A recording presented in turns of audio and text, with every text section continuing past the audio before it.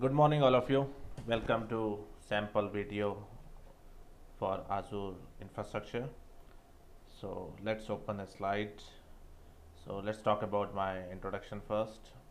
Myself, Mr. Kumar, and I have 11 years experience into AD Exchange, SCCM, SCOM, and Azure infrastructure. And I'm certified on all these infrastructure courses and certified trainer as well. I'm a SME designer, speaker, and involved in multiple roles. So today's topic is Azure Active Directory. So, so let's talk about uh, what is Active Directory as a component and how Active Directory fits into Azure infrastructure. So Active Directory overall talk about on-prem, on-premises Active Directory and on-cloud Active Directory. So I'll just give a brief about Active Directory. Active Directory is a component which deals with authentication, authorization, and access for all application and resource.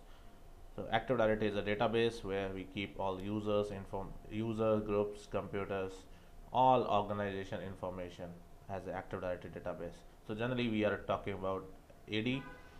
So we use AD on 2008, 2008 R2, 2012, 2012 R2 on on-prem servers.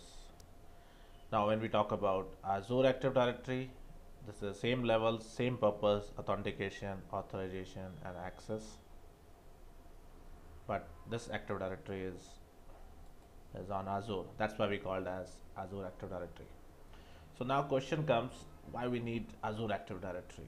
Or why we need authorization under a cloud? So, so whenever we have an application running on cloud like Office 365, uh, Skype for businesses, so we need some level of authentication on cloud. So that's why that authentication is done by Azure Active Directory. So, so that's the purpose, you know, oh, we required Azure Active Directory. So let's talk about uh, how Azure Active Directory and on-prem, on-premises Active Directory will, will comes into a picture or how it, it work together. So there are two scenarios. One is we don't have on-premises infrastructure. We have all application on cloud. So in that case, we don't want on-prem Active Directory. We are happy with Azure Active Directory only, which is called only the cloud-based authentication. So there are second scenario where we have already have on-prem Active Directory, and on top we have Office 365 cloud-based applications. So at that point we need Azure Active Directory.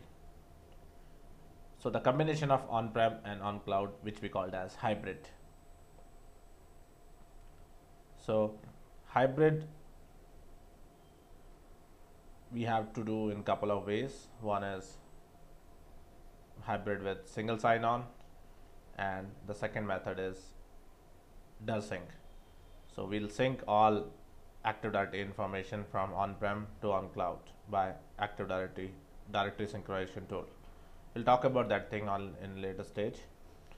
So now Active Directory is, as I said, it's a part of uh, your organization, all your users, groups, computers, and information stored into the Active Directory. So that's the reason we have to create a Azure Active Directory on, on cloud login. And then further, we have to do the management of users groups. And we can manage all this Active Directory by the two methods through a portal, through a PowerShell. And further, we already discussed that if we already have an on-prem, we have to sync all on-prem users into on-cloud by using directory synchronization. So that I'll show you in the demo in later stage. So let's take a demo. Oh, so I logged in with Azure portal manage.windowsazure.com. So I'm creating my new Azure Active Directory.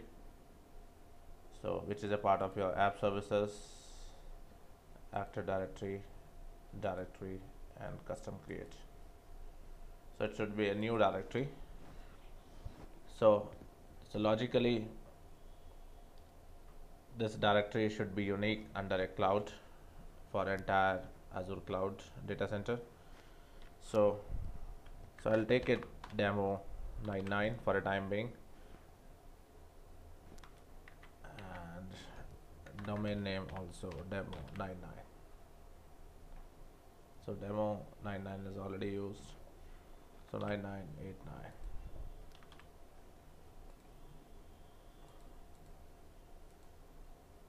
and region United States. So further this is a custom demo custom uh, directory in Azure. On top we can add our, our public domain like abc.com or, or whatever you know our organization domain. So so active directory is creating. So successfully created. So scroll down a bit and active directory. So we have demo 9989 so we'll manage all this uh, one by one. First of all users. So first of all I'm already logged in with my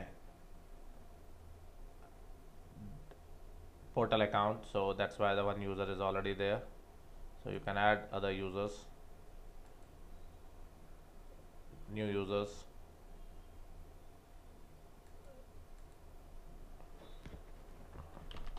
user one.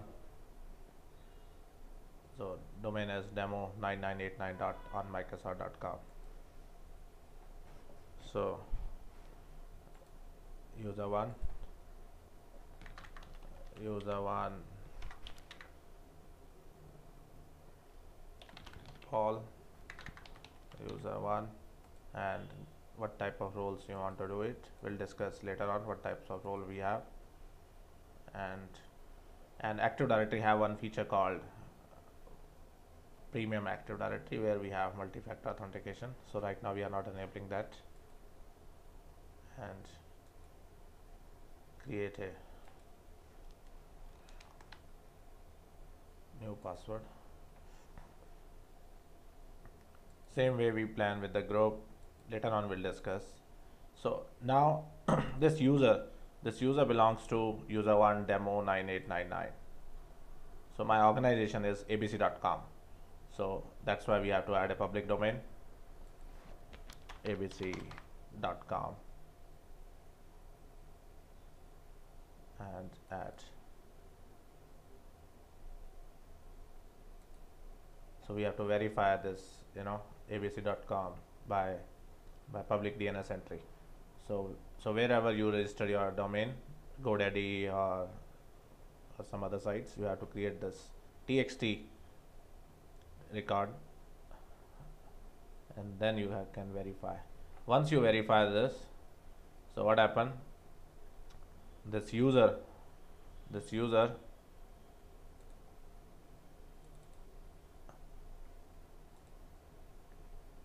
will get a new domain called abc.com as per your production domain. So user1 at abc.com. So I'm not going to verify my domain at this moment. So I hope it's good uh, and thank you very much for watching a sample demo.